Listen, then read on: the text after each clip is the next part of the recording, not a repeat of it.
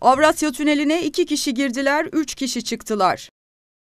Seda ve Deniz Giray çifti bebeklerine kavuşmak için gün sayıyordu.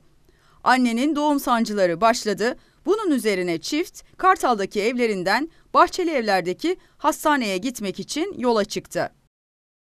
Polis emniyet şeridinde çifte eşlik ederek hızla yolu açsa da Avrasya Tüneli'ne vardıklarında annenin sancıları sıklaşmaya başladı. Anne o an bebeğini doğurmak zorundaydı. Aksi takdirde bebeğin hayatı tehlikeye girebilirdi. Ve doğum başladı. Devin Ege çok sağlıklı bir şekilde dünyaya geldi. İstanbul Boğazı'nın altındaki doğumun ardından annesi Devin Ege ismini verdikleri bebeğini Avrasya Tüneli'nde kucağına aldı.